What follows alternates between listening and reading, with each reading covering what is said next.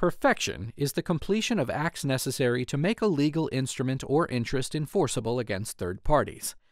In Pasteurized Eggs Corporation versus Bon Dente Joint Venture, we explore the proper method for perfecting a security interest in a patent.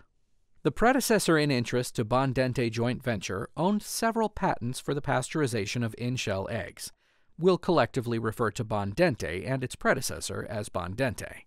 Bon Dente entered into a patent purchase agreement with the predecessor in interest to Pasteurized Eggs Corporation.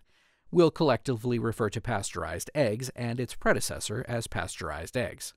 The purchase agreement provided that all substantial patent interests would vest in pasteurized eggs once pasteurized eggs completed 13 option payments.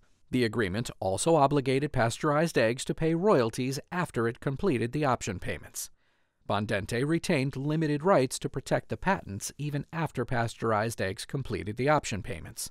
Bon Dente filed a copy of the purchase agreement with the United States Patent and Trademark Office, or PTO. After completing all necessary option payments, Pasteurized Eggs filed for bankruptcy.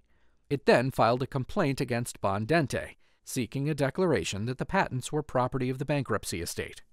Pasteurized eggs also asked the court to declare the validity and extent of any secured claim Bon Dente might have in the patents, and to declare any unperfected security interest that Bon Dente might have in the patents subject to avoidance. Pasteurized Eggs then filed a motion for partial summary judgment.